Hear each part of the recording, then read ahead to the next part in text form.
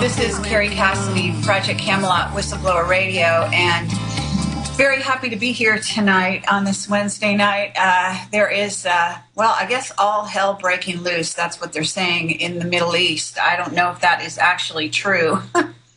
I just green lighted a trip to, to Egypt on top of it, so I guess my timing is impeccable as always. Uh, very, very interesting turn of affairs. Wow, what can we say? Uh, it, it is it is a bizarre time that we're living in, no doubt about it. I have a, a really fabulous guest this evening.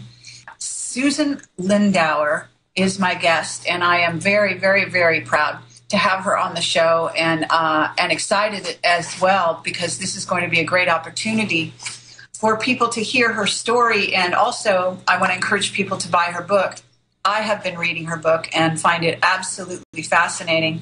It's a, a real inside look at, um, well, you might say an intelligence asset, and we're going to ask her more about how she likes to characterize herself, at least back in those days, and then maybe more so what she's doing nowadays. She did go to prison uh, under the Patriot Act, and, and for that reason alone, this is going to be a fascinating interview because, as many people will know, uh, due to, to some add ons onto this Patriot Act recently, people like me are, are easy prey and other, other truth tellers and so on. So if, if you don't mind, I, I, would like you to encourage you to buy her book and support the cause in that way at, at, at the very minimum. And then, of course, there are other ways to get involved. As you can appreciate, um, we have a crazy time going on now. I think we have a solar eclipse as well. And I, I want to say that there's uh, been some some things going on in the Middle East, and there's also been a coup in the American government. so I don't know. We couldn't have a more, uh, I guess you, you know, from depending on your perspective, a more exciting, I guess, backdrop to to the show. And and let me say that I'm not going to read her bio, but I'm going to direct you to the front page of Camelot, where you can link to the bio. It's actually I chose the bio that was on Veterans Today. I hope that's okay. And Susan, are you there? I'm right here. I'm delighted by all the great things you're saying. I wish I was going to Egypt with you. Oh well, that would be that would be really amazing. Okay, I wish you were too. so at this point, what I'd like you to do is is give yourself a background. Uh, tell a little bit about your story. Um, I know people may have heard you interviewed other places, so maybe we don't have to go down too many of those roads. But at least to start off with, for the people that are, are tuning in now and uh, might not know of your name and, and your background. Sure. And I hope that this will be a, a little bit different in the sense that um, uh, I, I was a, C, a, a general audience knows that I was a CIA intelligence asset, but I'd like to address these comments more to an intelligence audience.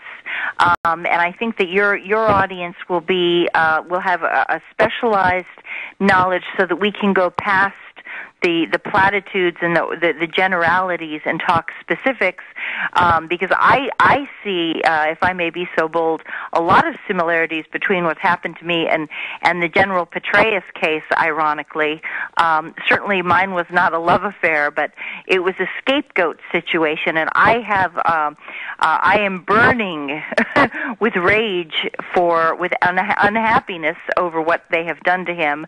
Uh, though I am not. Uh, uh, I am an anti-war asset.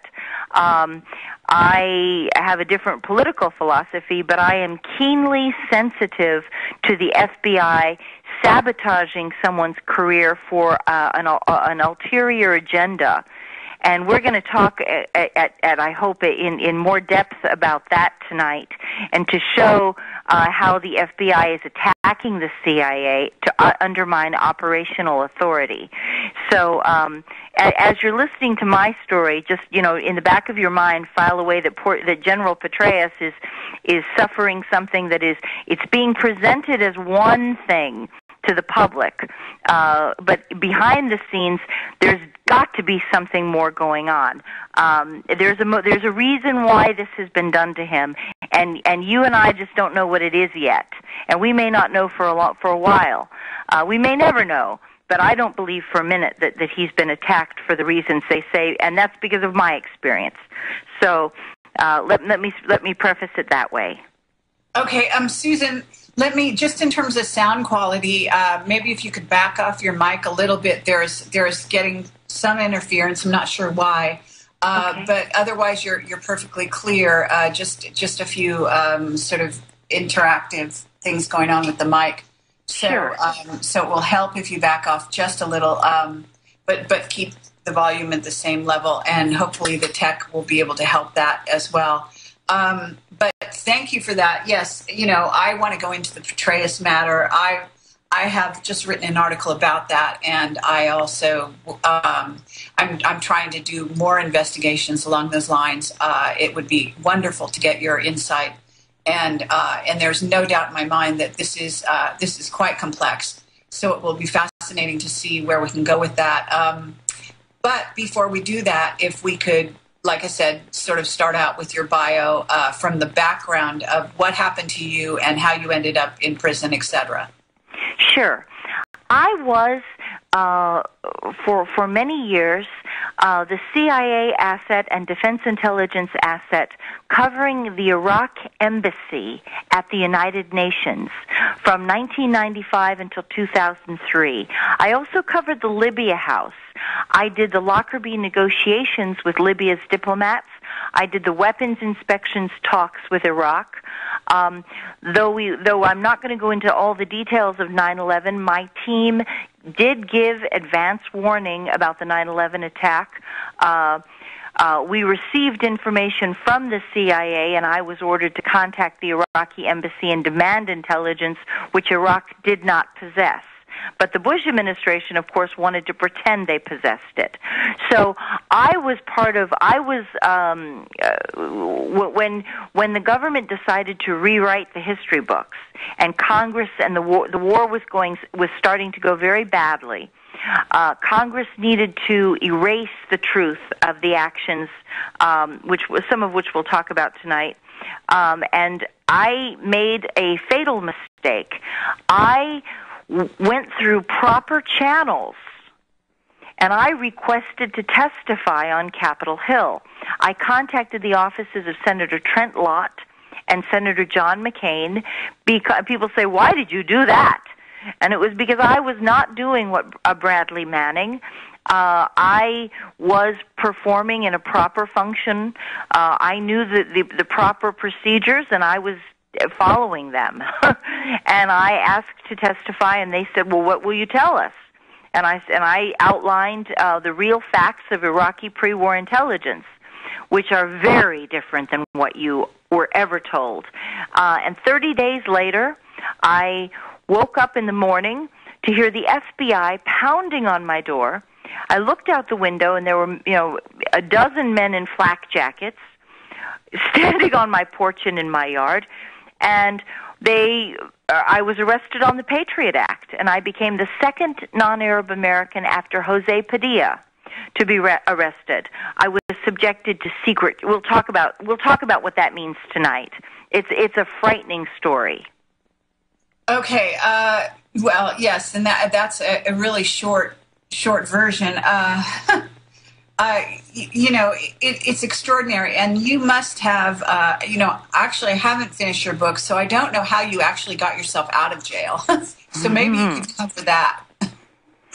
Well, uh, well, the, the the reason the reason they put me in, uh, and and the way that it ties to General Petraeus is that the FBI was covering up our team's 9/11 warnings to the Justice Department, um, and this is very dirty because uh, they were they were protecting the, the the White House and they were protecting Congress and the lies invented by the Congress about the weapons of mass destruction and how it was very the story that the Congress had a story they wanted to tell the people. It just happened to be entirely false.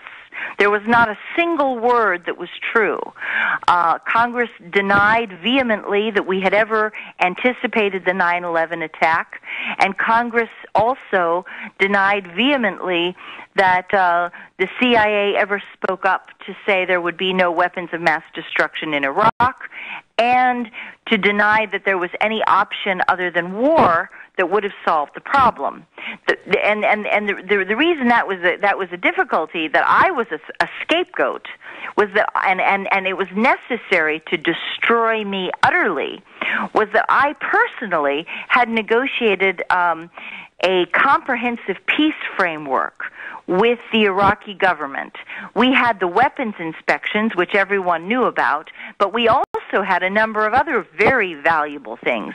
We had permission from Baghdad before 9 11 to send an FBI task force into Iraq with authorization to conduct terrorism investigations, interview witnesses outside the, the province of the government, and to make arrests as required. Uh, after 9/11, the Iraqi government tried tried very hard to give the United States financial documents that would have identified the pipeline, the cash pipeline feeding terrorism globally. From the Middle East to Indonesia to the Philippines, uh, we would have been able to shut down the money. And if you shut down the money, you don't need a war you've taken away their their operating budget, and you can you can cramp their style pretty good that way. Uh, and the Iraqis want, had all, throughout the 90s, the Iraqis were one of the best sources that we had on terrorism intelligence. Saddam was obsessive about these people. He was convinced that any uh, jihadi would automatically become a terrorist. Um, okay, uh, Susan, I have to interrupt you there. Uh, thank you for all of that, and we'll be right back uh, after this break with Susan Lindauer. Hi there, this is Kerry Cassidy, Project Camelot Whistleblower Radio, and uh, we're talking to Susan Lindauer. Susan, are you there? Hi, I'm right Hi, here, right- Kerry. Kerry. Very good. All right. So where we were at, uh, actually, you were you were talking right before the we went to break, and uh, do you want to complete that thought? Yes, I, I just want to say, ex- explain what the peace option was about, because there was so much more that the the Americans, the CIA was was demanding from Iraq than just weapons inspections, and so many times people think that that, that there was some ulterior excuse for this war and so it's uh, it's important to know what we covered and and why and and and to understand how the FBI has uh, in this conversation I think how the FBI has been viciously attacking the CIA and for what purposes? And mine is so loaded with you know all these great things that our our team was doing um that were all good for the United States. I subsequently was accused of being an Iraqi agent. So keep in mind as you listen to this uh when the government decided to destroy my career you know, I was at the top of my game. I had already done the Lockerbie negotiations. The weapons inspections, you all know, went off beautifully. I negotiated that. I'm the one who worked out the kinks with the Iraqi government to make sure that it would succeed. Everything I had done was superior. We even before 9/11, 9 months before 9/11, we had an invitation for the FBI to go into Baghdad, but the Bush administration uh, refused to send them. And so there's a cover up. There's complicity with the FBI and the and the Bush administration trying to hide the failure of the FBI. Uh, and trying to blame everything on the CIA. It was supposed to be our fault that there was no discovery of the 9/11 attack. Well, that was nonsense. I personally had known about 9/11 since April and May of 2001. I was ordered to threaten the I was ordered by my CIA handler to threaten Iraqi diplomats with war at the order of George uh, that the threat originated above the CIA director and above the Secretary of State. And that was the wording I was told to use. The highest levels of government above the CIA director and the Secretary of State. That's only three people George Bush, Dick Cheney, and Donald Rumsfeld. And that meant that they knew about the 9 11 conspiracy, if you believe that there were hijackings or not. Uh, I personally believe that it was a combination, that it was that the airplane hijackings was a cover for the, the controlled demolition because they needed to maximize the destruction of the towers and guarantee that they could have such a compelling interest, a compelling uh, interest is not the right word. Um, uh, they, they could overcome public resistance, which would be fierce. And they wanted to, to maximize uh, the, the impact, the psychological impact of damage to the American psyche, so that they could thrust us into this. The Patriot Act was already in, in somebody's, in John Hughes' drawer. 7,000 pages that pretty much replicates the Soviet criminal code of 1926 under Joseph Stalin, the KGB network, secret charges. Think about this. Think about what it means to be a defendant. I've lived through this. Secret charges where you're not allowed to know what you are accused of doing. You're not allowed to know the type of crime that you might have committed. They are not required to give you. Uh, they can, they give you a general date, but they don't have to be specific. They do not have to tell you what city the crime occurred in. They do not have to give you an address, just in case you were across town or in a different place that uh, on that date.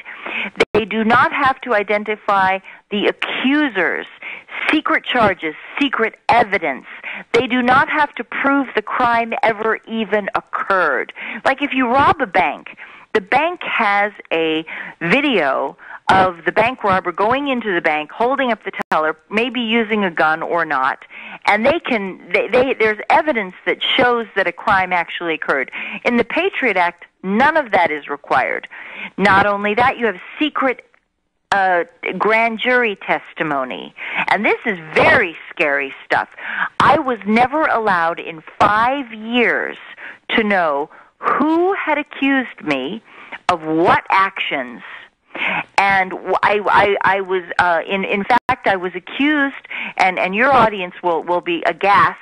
Uh, my cousin was the chief of staff to George Bush, Andrew Card. He did receive copies of my letters.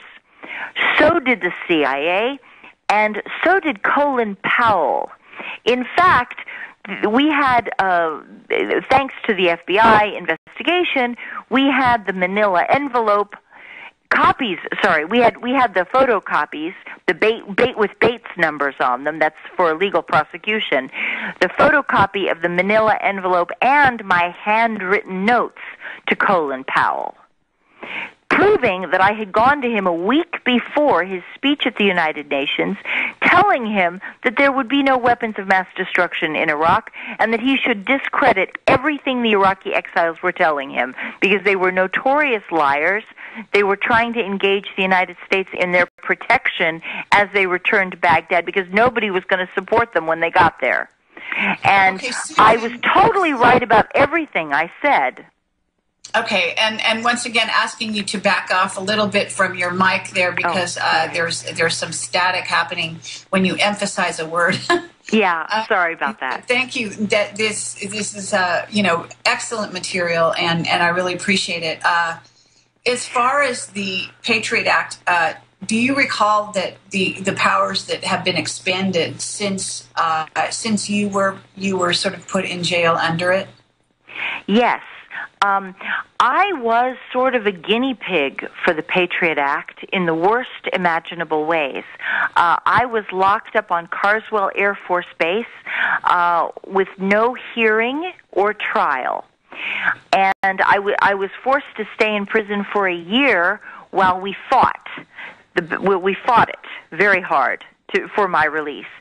While I was inside, um, the government the Justice Department urged that I should be detained indefinitely, up to 10 years, with no he- trial or guilty plea.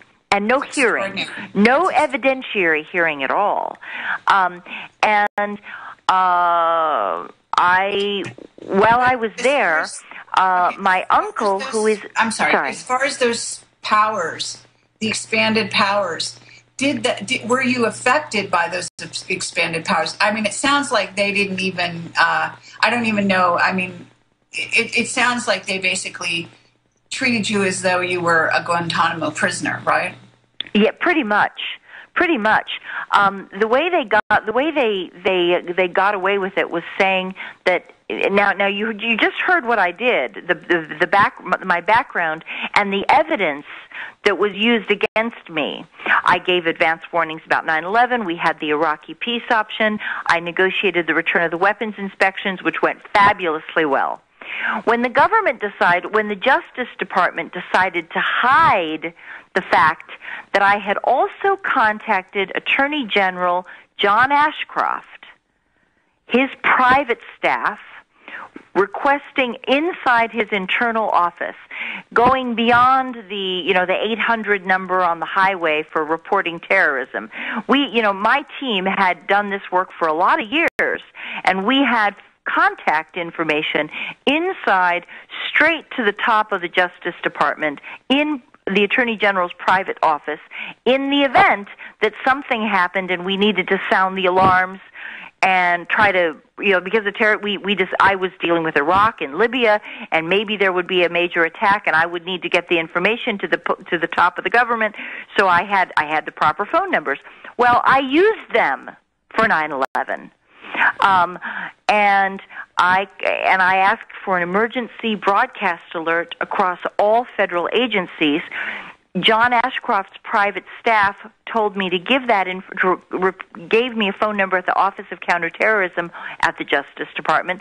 Told me to repeat what I just said to them, um, and but later on, when when the FBI decided to cover for John Ashcroft, and this and again i want you to all to think about general petraeus right now. When the general when when when uh and and whatever he's really suffering because this is a front. This i am absolutely convinced this is a nonsense story that they've made up about him having this ridiculous affair. Uh, and we can talk about that why i think it's nonsense. I think it's very silly. Uh, i think it's tragic that he is being attacked and his career is destroyed for something so stupid. But I am convinced there's something more that's going on that they are hiding. And the reason I believe it is that I had done these things and the Justice Department wanted to take away the CIA's authority on terrorism investigations. It was not an intelligence failure of that's that prevented the that that failed to stop the 9/11 attack. It was a Justice Department decision. John Ashcroft was warned. We asked for his help, and John Ashcroft, head of law enforcement for the United States, refused to take action. And they absolutely were, were covering for his corruption, his incompetence, his mediocrity. He was out of his league. He never should have been allowed to be the head of the Justice Department. Terrible, terrible leadership. But the okay, FBI wanted that operational authority. I, am going to throw out a, a, a counter to that and wonder if you how you would approach this. If I told you that I believe John Ashcroft was acting under orders, not not being uh, as incompetent as you may think he is, but actually that there was a more diabolical agenda uh, that he was simply following. I agree with you on that. I consider him to be traitorous. I I can I, I do agree with you. Yes, uh, that it was a deliberate decision. I have no doubt in my mind. And and so when people say to me, Susan, do you think 9/11 was an inside job? I say absolutely. Um, they let it happen and they made it happen. They made sure it would happen. And, and they did it by the combination of the explosives, demolition, and pulling off the CIA, uh, pulling off the, the law enforcement and refusing to implement requests for law enforcement help. And and I consider it un, to be you know because of I I suffered on the Patriot Act for 5 years. I was accused of incompetence they said that I was. They invented a story. They that I was a religious maniac. Now, I, I do believe in God, but I am uh, categorically deny that I am a religious maniac. I just that is just anybody who knows me would know how silly that is. Though I do, I am not an atheist. Right. But I, you know, I do have a strong sense of faith in my life, and I am mindful of the greatness of this fabulous earth and universe. And I'm probably more theistic or deistic I think I don't even know what those things mean. However, I am just not a deeply religious person. Well, I, I do believe in God. So anyway, but they, they made up this story about me, which the corporate media helped them sell. Amy Goodman, who is of you know Democracy Now, when I was locked up in prison, my beloved companion phoned her and begged her to cover my story. And she said, I quote, and he broke down in tears telling me this. He's this big old Navy guy. And he said that she told him, Oh, well, maybe it's for the best. Really? Yeah. Wow. Incredible. Yeah. Okay, well, I'm very I, I'm very sorry to hear that. Uh, I, I I don't want to get into disparaging another radio. You know. No, I, I know, I know, but it's it's a fact. But, it's no, it's, it's it, it is crucial that you get this kind of information out there, and and perhaps uh, even we get possibly an apology. I'm surprised that even has she come forward and uh, you know after the fact. You've written a book. Um, there's lots of evidence that you are who you say you are, and that that you were set up, etc. Has she ever sort of come back around and apologized or whatever? Never. Never at all. The corporate media has been clinging, as we all know, has been clinging to the lies. They made up a story and they backed the administration a thousand percent. It ha- it be it was a, a changing of the guard, as you know, uh, away from. Uh, or we've seen we've uh, through through my experience, uh, we see a rise of the blogs and a rise of the internet radio, um, and a, and and uh, we see that that this media becomes far more valuable and necessary. And so, when I hear you doing fundraising, people, this is listeners out there. You need to support Project Camelot because if you lose Project Camelot, you're going to never have this information at all. And you need to know what's really going on. All of us need to be a lot more astute uh, because it's it's it's it's it's a lot more diabolical and malevolent than even any of us could wish in our worst nightmare that we could ima- that you could imagine what I lived through. Yeah, uh, there there is no doubt about it, and and you're one of the, the the, the people that people should most be listening to, in my opinion, in this regard. Okay, we'll be right back with Susan Lindauer. Warning. Warning. American. Warning. American Freedom Radio is habit forming. American Freedom Radio is habit, habit forming. Use the truth carefully. Okay, this is Kerry Cassidy, Project Camelot, Whistleblower Radio, and we're talking to Susan Lindauer. Uh, and and actually, we're just veering into this whole Petraeus thing. I, I, don't know if you're quite ready to go there, but if you are, I've got a number of you know sort of questions and things things to avenues I'd like to go down if if, if you're interested. Absolutely, I think it's very important. Okay, uh, well, First of all, let me direct your attention to the fact that I wrote an article. It is on the front page of Camelot. Uh, I, I, don't know if you're online or able to see it now, but maybe you can read it later. Um, and and it, you will find it of interest. Uh, I, I, basically sort of find a, a, number of articles out there. One of uh, one of the sources on the stories out there comes from a guy named Tom Heneghan, and he is an in, intelligence asset, as you would call them. Uh, I don't. I forget which agency I'm, he's with. Maybe it is the CIA. Um, I don't know if everything he's saying is is straight. There's often disinfo wrapped in with things, as you know. Um, yes. And and that's that's purposeful. Sometimes, in in fact, to keep the guy uh, alive. But nonetheless, um, it, it does appear that that where there's smoke, there's fire. In the sense that this situation is a lot bigger than they're letting on, and. Uh, and I'm getting back, you know, I get whistle test blower testimony all the time. I am getting back channel information to the effect that, in essence, this is a coup uh, that was orchestrated. And I have to say, um, it, it, would have possibly been a good coup. In other words, it, it might have been um, a group of, of generals, et cetera, et cetera, who, who got together and were planning something to go up against the Bush cabal that is now running this government and has been for, for some time. Um, and I'm just wondering. Yes, yes, yes, yes. Keep going. I agree 100%.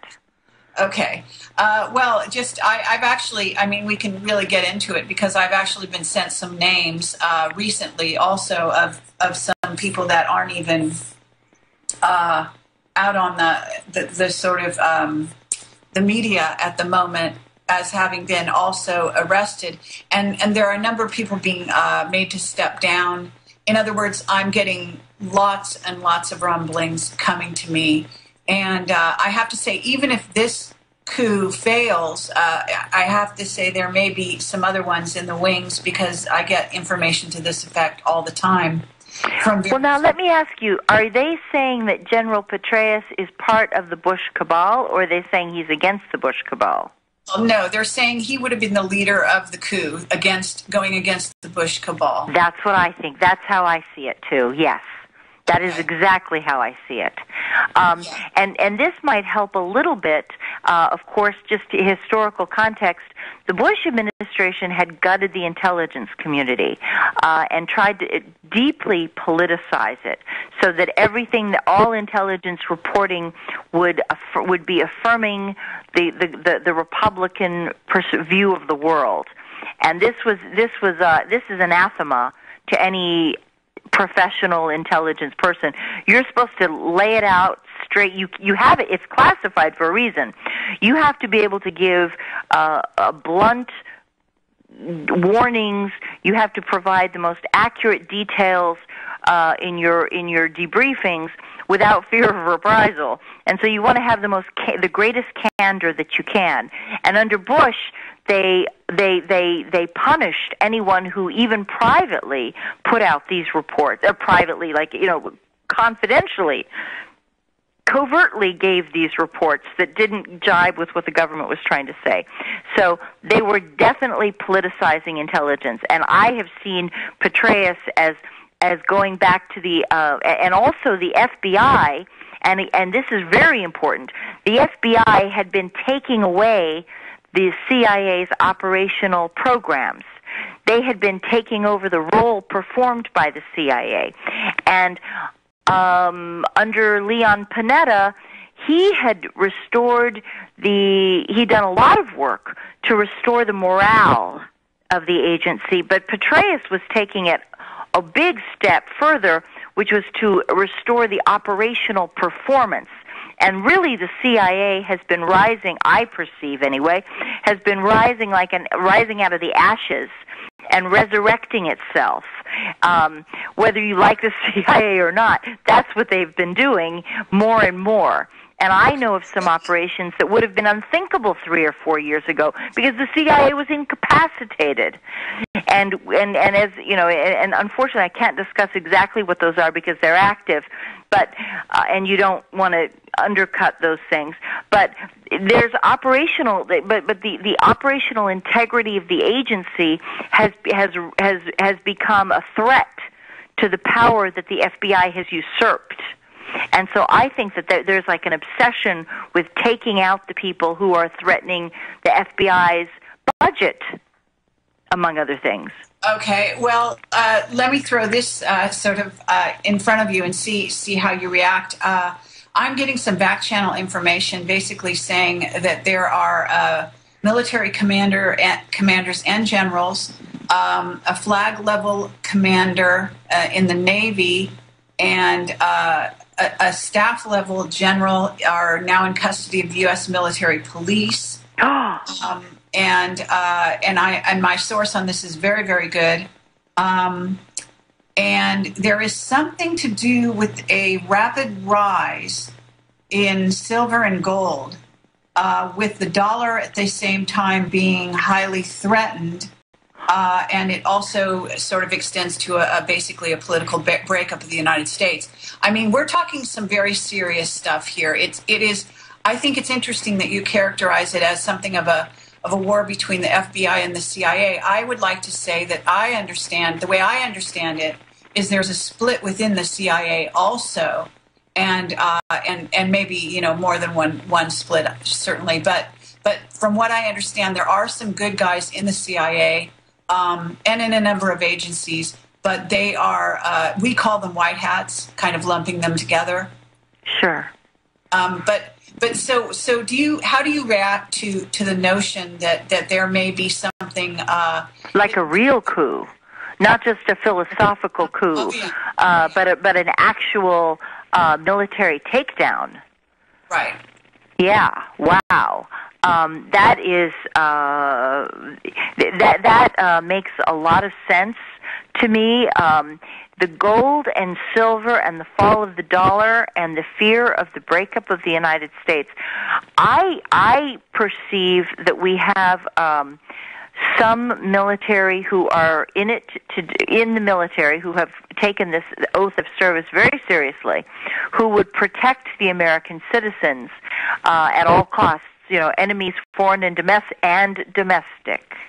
Right. And if we are moving towards a state of martial law, which you see over and over again, um, posse comitatus is in serious trouble. Uh, not only the NDAA, and I'll talk about my experience on the NDAA because I've lived it. I have lived it, uh, and it is a scary thing, and, and it's it's scary in ways that you haven't. No offense, Kerry, but your audience just doesn't understand. You you think you understand the NDAA. You don't have a clue how bad it really is. Um, but well, enlighten us. I, you know, I'm happy to hear more about this. Uh, you know, well, well, let me let me just tell you that. Um, let, let me give you an ex- a specific example. My uncle, who when I was on Carswell Air Force Base, uh, the reason I was on an Air Force base in pr- there is a private prison a corporate. Now, here's the thing. Remember that, that it's corporate. um, and then we're going to come back after I explain this. I want to come back to the brand new uh, executive order that has been hushed up. Uh, by the Obama administration, because there's a brand new order that follows on the NDAA. Uh, but my uncle, who is an attorney with 40 years of experience, came when I was locked up was bless his heart, great, wonderful man. Thank God for him. Came to see me to try to save me, and he jumped in. I had a public defender who I was so poor I couldn't afford uh, a, a, a fancy private attorney, but I had a family member who helped me. He came to the base, and first thing the military said, remember the NDAA now. The first thing they said was, Mr. Lindauer, there is no prison on this base. And there is no Susan Lindauer anywhere on our facility. And he said that, excuse me, sir, uh, Mr. Sentry, that's, that's not true. I have the papers from the court ordering her to surrender here. Here they are. She's here. And I have letters from here, her postmarked from your base. Here they are. Take a look. And the military called the commanding officer who came out, looked him straight in the eye, and said, You're wrong. There's no prison here. She's not located here either. Get off our base right now. Leave immediately, sir. My uncle's 70 years old. He's not a he's not like a hippie dressed in blue jeans and tie dye. He he's wearing a three piece suit. and he's a gentleman. He's like he's a he's an elderly dignified gentleman and he's a Republican. which is really kind of funny. Um, but he is, you know, he's very, he, he, he's the type of human being who all of his life has trusted authority. And we'll, we'll, I'm sorry, we'll come back to this and we'll talk about what happened to get him onto the base. Uh, sorry. Okay, well, this, I have to say that what happened to you must have been an eye opener for him. Uh, we'll be right back with Susan Lindauer.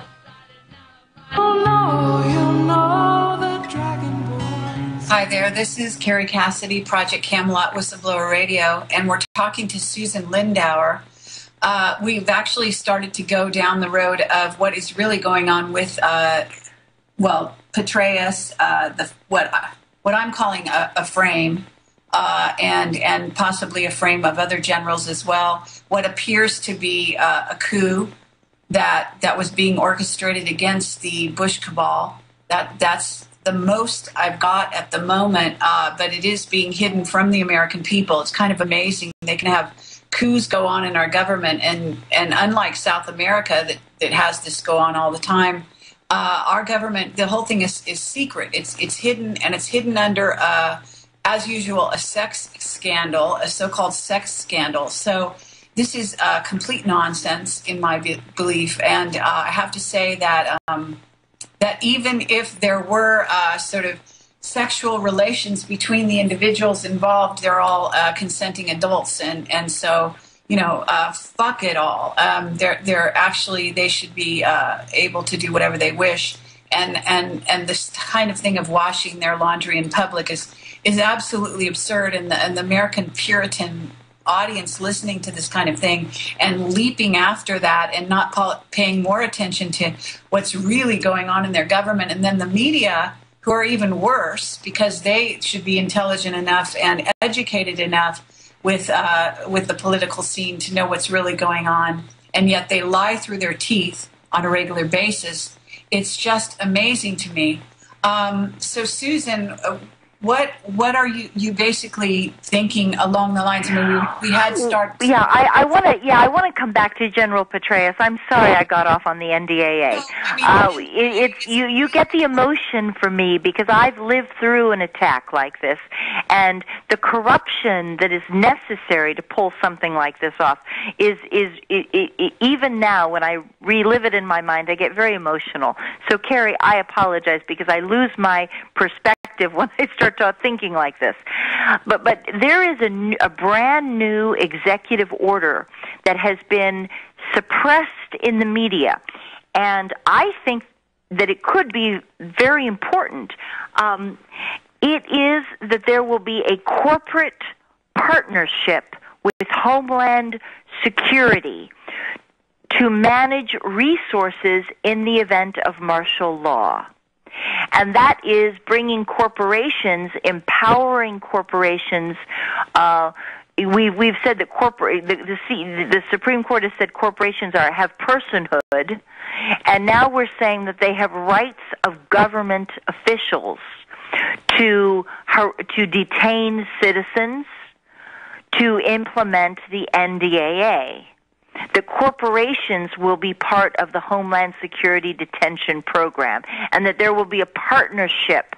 In uh, there was also a, a second and third uh, uh, executive order back in, I guess it was March after the NDAA, when it talked about privatizing, uh, or excuse me, seizing private resources, like seizing food production resources, uh, energy, transportation, and that all of that could be diverted to military uses against the will of the civilians.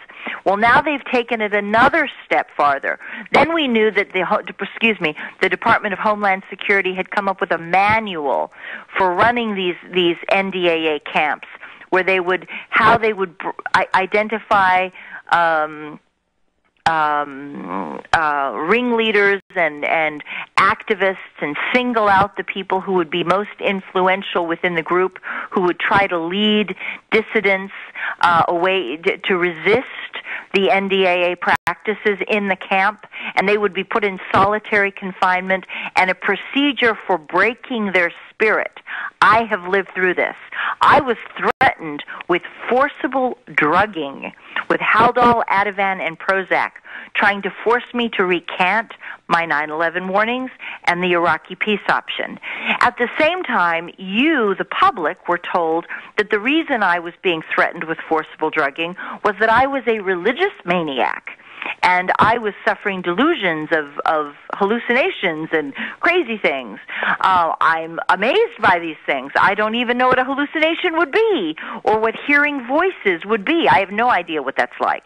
Uh, I've never never happened in my entire in my existence that I'm aware of.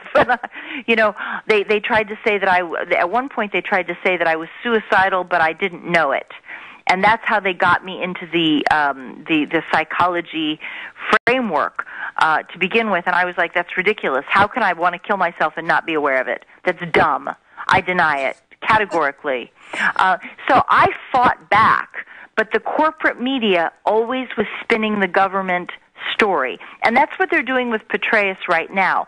But what you see is that in the past year, we have the NDAA, we have the the, the, the executive order on privatization, uh, on excuse me, on seizing private resources.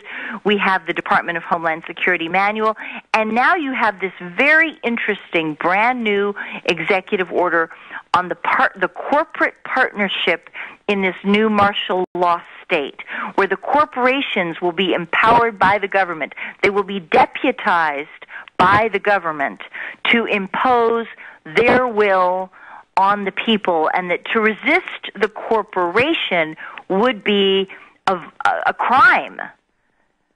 Okay, and so you have somebody like Petraeus, and I imagine these other generals whom I have. Tr- I'm. I can tell you already, if they're standing up for America against this kind of thing, I'm. I want them in the military. We need them in the military.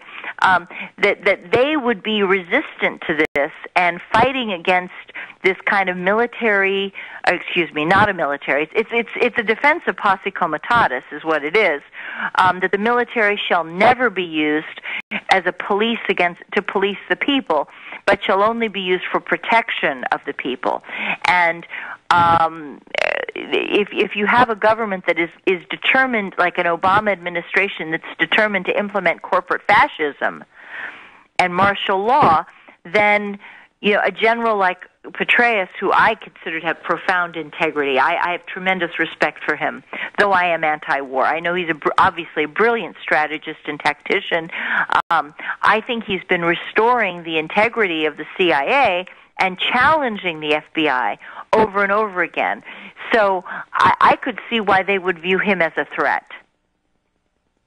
Uh, well, yeah, that's that's very interesting. Uh, the NDAA, the the things that you were subjected to that that could well be uh, in the future for for many people that are out there speaking the truth at this time, uh, myself included. If if we yeah. aren't careful and don't turn the system around soon, and I mean sooner rather than later, um, it is fascinating to me that at this time we may actually have uh, a coup going on, and and the American people be unaware of it.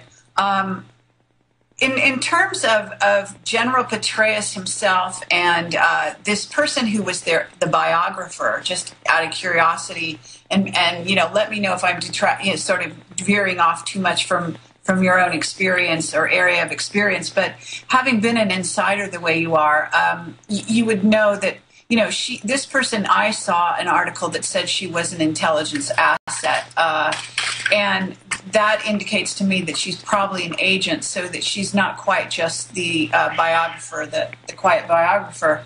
And uh, I, that does not mean that she's not, um, you know, a good person or an intelligent woman. Uh, on the contrary, and she well could be being framed in in this whole maneuver.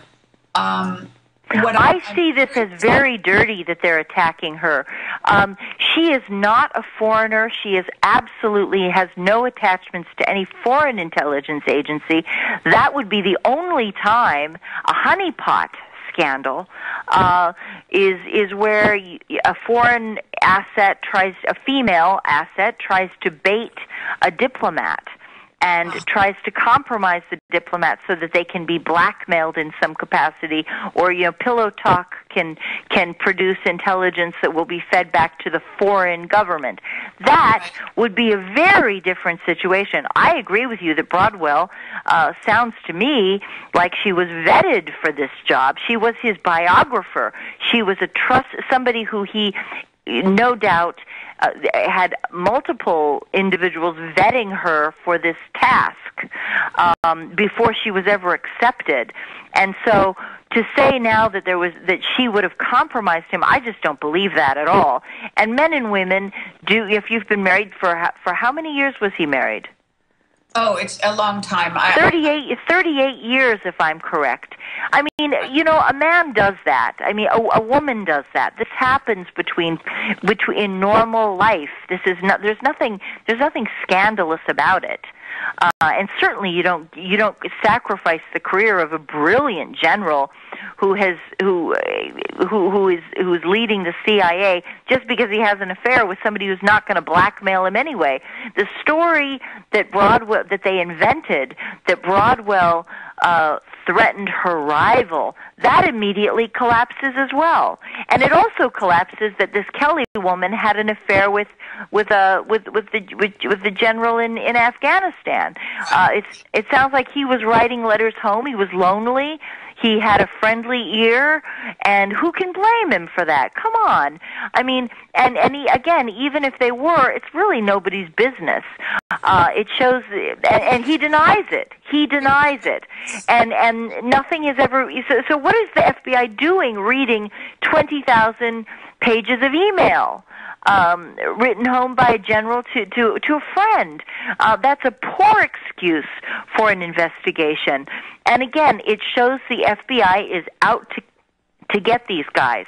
Now, as someone who's done black ops myself, um, I consider it very. I consider the FBI to be very threatening towards the functionality of the agency.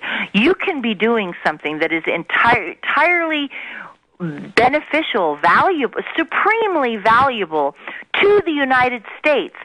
And the FBI comes in, they want to take over whatever it is you're doing. They want to do it instead. They want to have their budget Remember, this is bureaucracy and budget.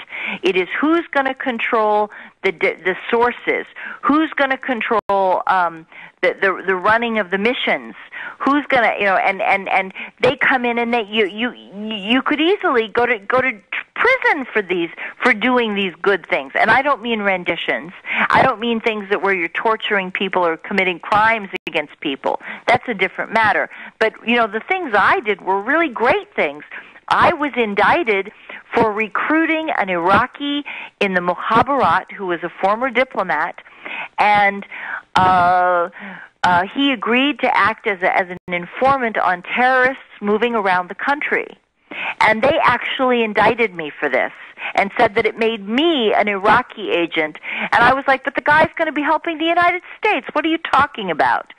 But this is something that is normal intelligence work. It is good intelligence work, and yet they wanted to attack me for getting Iraq's cooperation, and they didn't want the CIA involved in anti. They didn't want the CIA involved in anti-terrorism in Iraq because the FBI wanted to take it.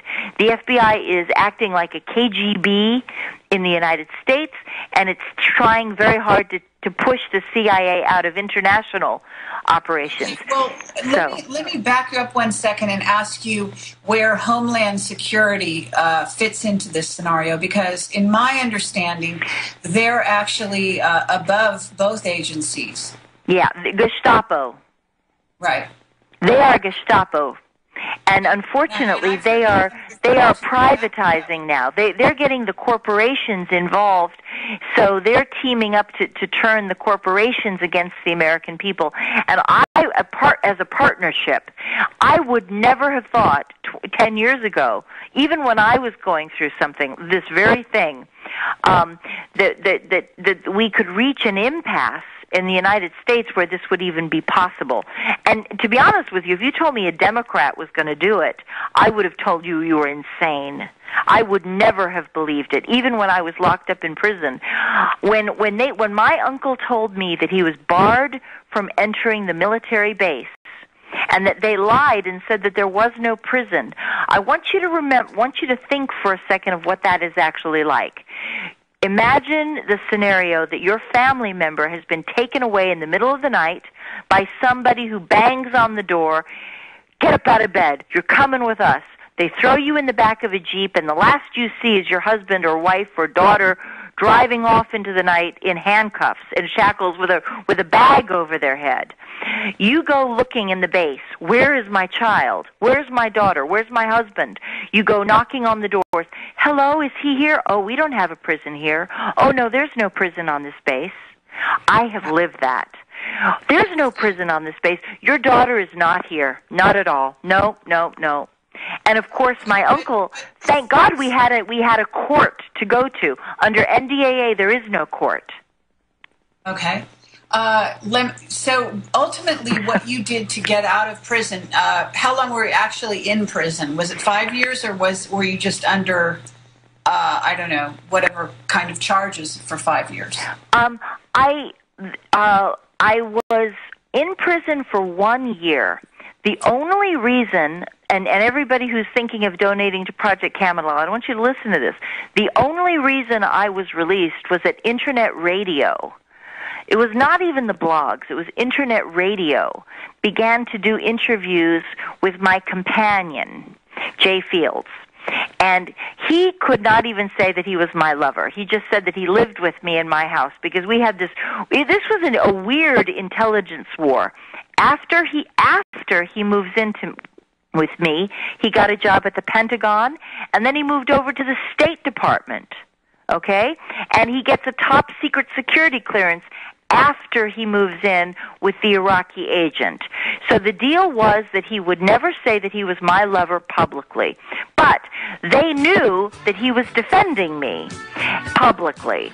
And so he forced this on the internet radio, brought this story to the internet radio, and that created blowback to get my release. And okay, Susan, we're going to have to break in here. We'll be right back. Is Kerry Cassidy, Project Camelot, Whistleblower Radio, and we're talking to Susan Lindauer. Uh, Susan, I wanted to ask you a question in regard to this whole Petraeus matter. Uh, because I, I, understand from something that Tom Heneghan wrote that uh, Petraeus was apparently going to be uh, pointing the finger at the Secretary of State Hillary Clinton, who has just stepped down, as you may know, um, for ordering the, the military to stand down uh, while the, the Libyan ambassador Christopher Stevens was being assassinated, um, and that that assassination was bought and paid for by the U.S. government uh, or, or, or elements in the government. Uh, what do you say to that? Um, I think it's bigger than that. I think that uh, again, I think it's it's something to hang this on. Uh, that, that that perhaps makes more sense than the, the Broadwell ridiculous love affair, Broadwell love affair. But I think also um, he would be able to testify about that regardless of Hillary Clinton, and um, he, he, he, if anything, he, he'd be a good scapegoat. They, they could they could turn that around and make him a scapegoat, so they could hang him for that as well. They could find a way to use that against him, uh, and they're not doing it. Um, I think I think it's bigger. I think that this has to do when when you. I think it's more accurate to say that this is a coup. And the reason it's a coup is that the military is on is is way ahead, is five steps ahead of us. The CIA is five steps ahead of us, ten steps ahead of us, uh, and they know very well what's coming down the pike and they are already resisting it. Uh, because because in fact cases like mine already show the abuses of, of regular citizens who are intel- who happen to be intelligence people who've been subjected to these things already, and that we are the guinea pigs for what's happen- going to happen to you. Uh, and the military is already sensitive to it to it to at a, at a high level, and they are conscious of the the mass. They know the master plan that that is underway, and they're they're fighting against it. Is what I think is really going on. Okay. Uh, what about the notion that uh, that that Stevens was assa- an assassination, a planned assassination? I mean, my understanding, I, I have to tell you, is is that based on everything I hear, that the Benghazi situation was was fairly orchestrated. That they let that ambassador go down, and that they had a reason for doing it. Uh, what that reason is, I don't know. Um, I don't know if you have any background on that, or even if you're going to be at liberty to say so. Well, I heard I heard that that uh, Stevens was heavily involved in arming the Syrian uh, resistance to Assad, and that he I heard that he was having dinner with the Turkish consulate right before his assassination, and that the uh, embassy security called in a wa- warning to Washington and said, "Hey, we're surrounded here. We've got hostiles outside our door. What are we going to do?" And no one and they asked for help, of course, and no no help came. And then as soon as the Turkish ambassador went out the front door uh, unscathed, um, un, unmolested. Um, as soon as he was gone and jumped into his truck and a car and drove away, um, having discussed f- financing and weapons supplies for the Syrian militia. The the Syr- what is it? The Syrian National Congress and the free the Syrian the Free Syrian Liberation Army. Um, as soon as he as soon as uh, the the Turkish ambassador was gone.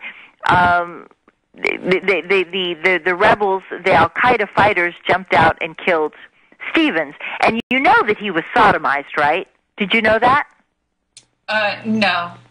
I've seen pictures of that. He was. And what's this? What's I mean? What's the you know significance of that?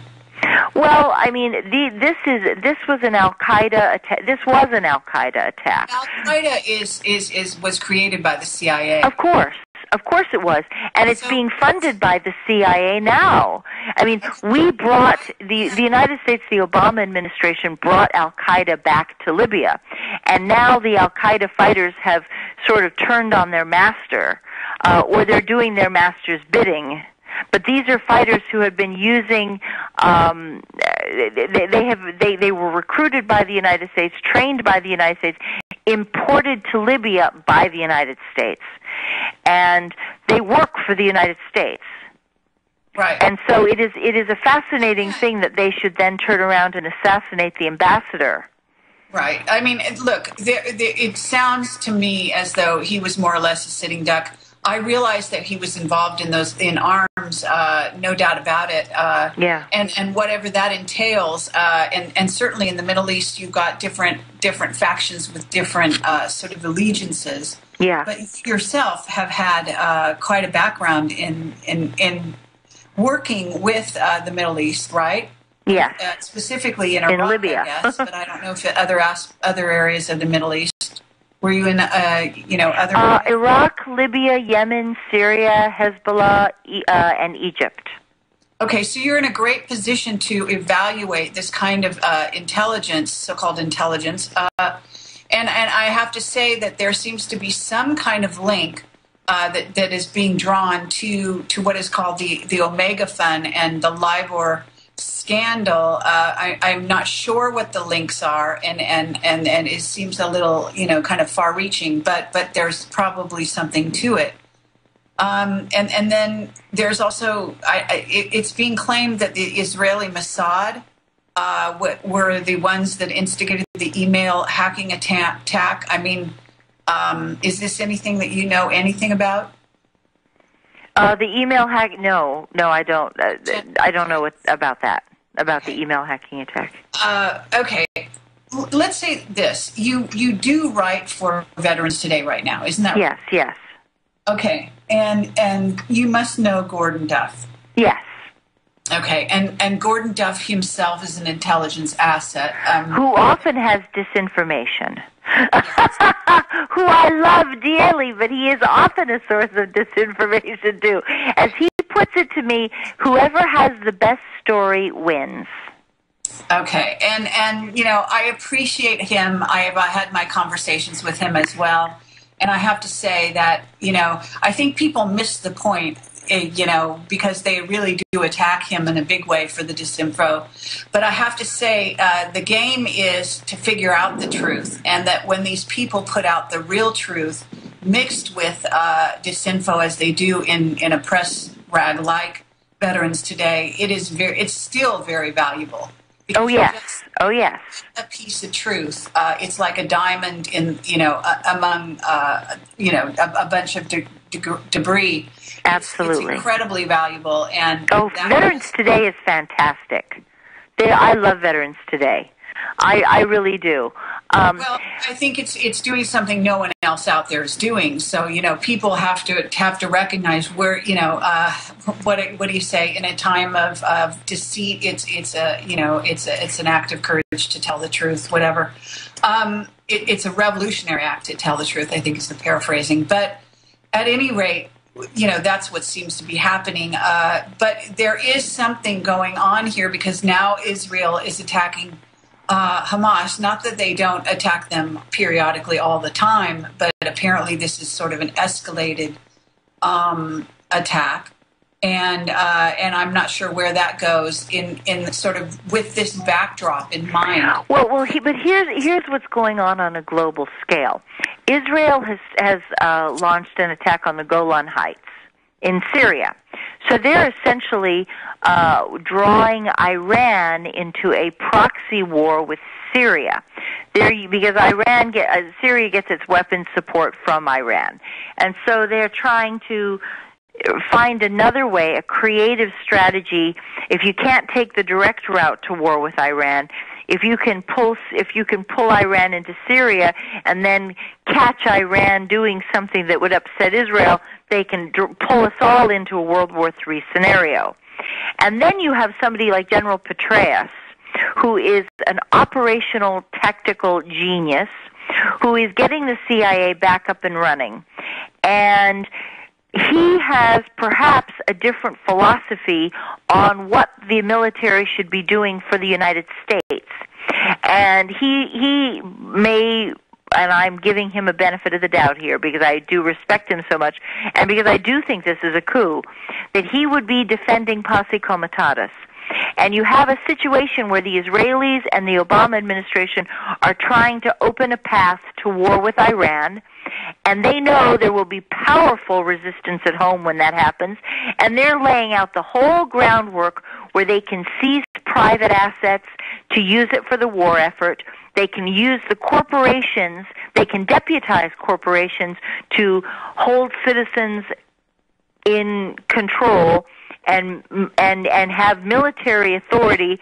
And and then you have somebody like General Petraeus who has the tradition of the military at heart, and you have his other generals who you talk about, who who you've talked about, who have been forced to step down or they've even been arrested, and that tells me that somebody is defending the American people, and we may be closer to martial law than you realize. Yes. Or not that you realize, but that the general public real you realize it, you get it, but that you do, you you know, your audience totally gets it. But I think we're a lot closer than we think. Yeah, I I have. We may be just a few months away. Yes, uh, true. Just just out of curiosity, you you got out of prison. You then pursued your case. I take it in the courts. Is that right? Well, they they refused to give me a trial. For five years, I was held under indictment. Um, what happened was we forced them to release me um, because they, they, they, Judge Mukasey, when, the, when uh, blowback from the blogs was so powerful that Judge Mukasey the, the, the, they realized they they were not going to be able to do this quietly like they hoped, because the corporate media had now a rival in the blogs and the internet radio. And so they, they were forced to let me go. But then for the next two years, two and a half years, I continued under indictment. And every single month, they tried to take me back into custody. Uh, I was actually forced to go into court with no attorney present to fight a bail revocation. They invented all sorts of ridiculous stories to try to pull my bail.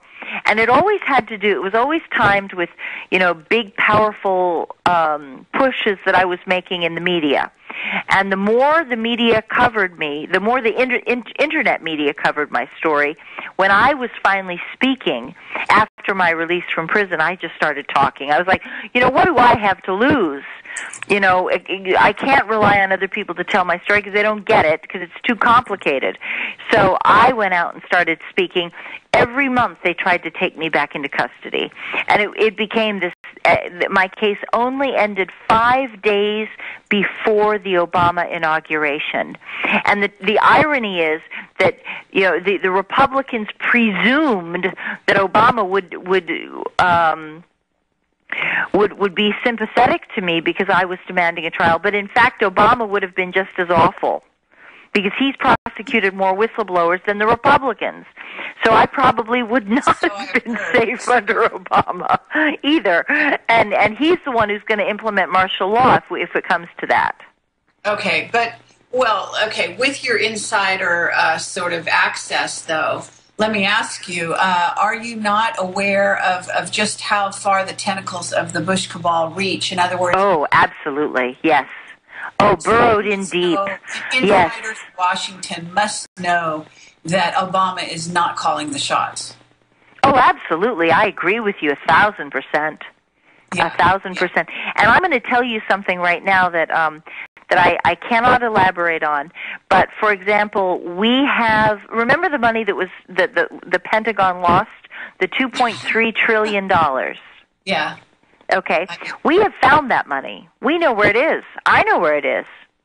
I know the bank account where it is. I know the bank, and I and this and I, we we and I'm not going to say that who who where it is and the names and everything over the radio right now, but I will tell you that we could have had this back uh, 18 months ago, and it's no longer 2.3 trillion. It's more like 10 or 10 trillion dollars or higher, which would wipe out the federal deficit.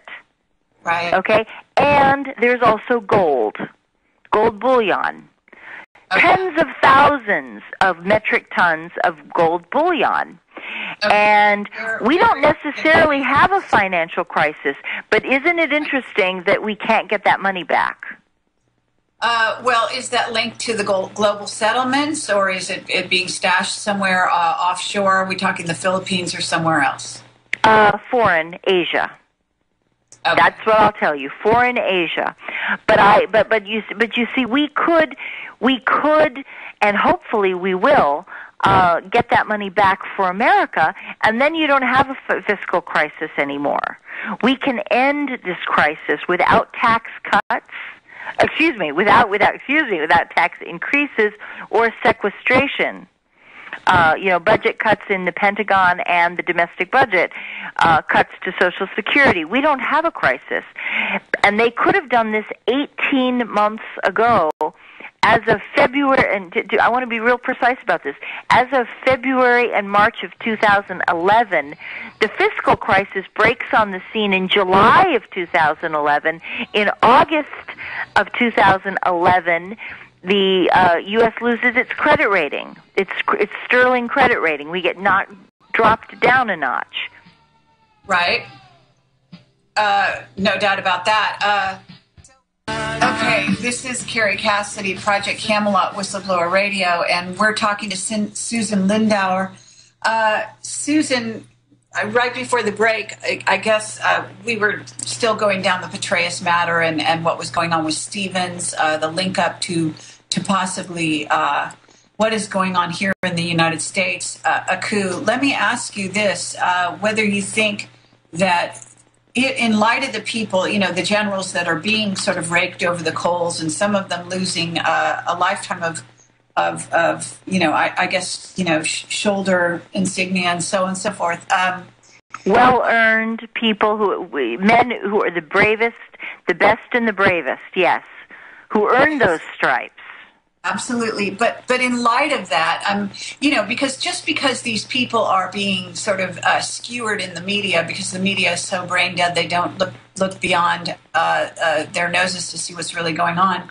Um, let's say that this this this situation has legs. Uh, I mean, as long as they're not in jail, aren't they at you know in a position to still uh, affect change? Uh, and, and yes, they yes they are in a position, and that's why they're trying to disgrace them and discredit them as much as they can, so that they will be tied up in fighting these ridiculous allegations, and there won't and people will be distracted by the stupid part uh, what we agree are stupid arguments.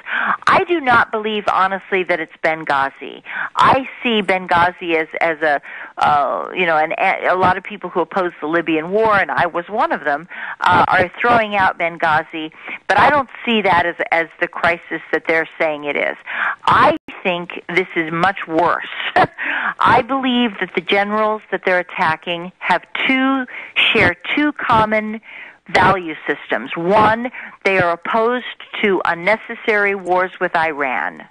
And and and you know, uh, J- uh, Joint Chiefs Martin uh, Dempsey uh, came out powerfully against the war, put his foot down, said, "No way are we going into another re- unnecessary war in the Middle East. We cannot fight this. We cannot win. Our military is exhausted and broken. We refuse." And so they're fighting them. They're fighting back to defend their soldiers. At the same time, on the home front, the, the, the Obama administration is getting ready to implement a martial law scenario, and unfortunately, I don't think that that is an extremist statement. Um, the fiscal, I, I, I tragic, I see it as a great tragedy. And ordinarily, when people say, "Oh, they're looking for martial," they're setting up a, a, a scenario for martial law. They're setting up a infrastructure for martial law. I think that's a conspiracy theorist, theorist nutcase accusation. However, it certainly looks that way. There's, they are laying out the groundwork. And then you add in what I know for a fact, because, Kerry, I have the papers in my house. I have been given the papers. I know where the accounts are. We have the money. There is no fiscal crisis. I know the I was given the papers and I'm telling you this because you are Project Camelot.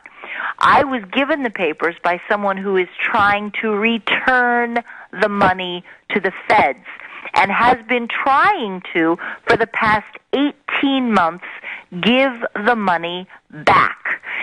First, unfortunately, he ran into the neocon, a neocon team. I know who they are. I know the the principals who were involved. I know them by name. And they played a game with him and pretended they were going to give the money back. Then they sidelined him and said, "Well, maybe you don't need to do that. Maybe you could keep the, you could give the money to us and we could use the money for black ops." For our black bag operations, because it's a private security firm. And so instead of helping him give back the money, because he's trying to do it kind of covertly, he's trying to hide where it has been. I know that. And he's trying to hide who's been helping him hide the money. He's trying to conceal this information so that he is not totally exposed, and his uh, what do you call them? Uh, the, the accomplices who have aided and abetted in this theft are not exposed. So he's trying to use people who are outside the agency but know how the agency works to give back the money. I've known about this since February. And we have run into the biggest trouble. The banksters have been fighting this. They don't want the money going back to the United States either. And it seems like the the the the, the, the most extraordinary thing because I'm telling you something that it's it seems impossible, but in the next few weeks, uh, it's going to turn out to have been true. Because if if necessary, I would go to the media and release the documents. If they if they don't break down and if they actually go through with this cliff fiscal cliff, then I promise you, uh, this information will be on the blogs. I will put it out there. I've got it. I'll put it out there. There is no fiscal crisis. So who is manufacturing this whole scenario and for what what purpose? And that's the thing you've got to ask yourself. That, I mean, that get, gets into the whole uh, sort of Rothschild agenda, New World Order scenario, and uh, and we haven't even talked about the Chinese. Uh, I, I, w- I would like to draw your attention to the white hats uh, that do a blog called uh, the Dark darkcabalblogspot.com, where they've been releasing on a regular basis documents uh, all about following the money. I wrote a, a, very long article to accompany some of their releases. Uh, they've got some very important stuff surrounding an, something called Pure Heart Investments, which is a, a basically the head of sort of a a, a, trading program that, that the Bush cabal uses and has used to to raise huge amounts of money. You must know about these trading programs. Uh, oh yes, yes. oh, I do. I've learned about them. Right. Yes. So, so what, let me ask you. I mean, because if you want to give documents to someone, I can definitely tell you they're the people to give them to. They've been releasing this kind of thing for quite a while. Well, well, first of all, what we're going to try to do, we're going to continue to try to do it a straight way uh, to get the money back to the government. Uh, because some of, it, of this is the type of scenario where I know this that the gentleman who's got the money is is most afraid of being exposed. So he would prefer to do this in a way that he can stay out of it when it comes out, and uh, that, that he can hide from public scrutiny. Uh, and I, I, I know that all of you want that information, and it, there may come a time when it has to be done. Uh, but in my opinion, it's more important to get the money back.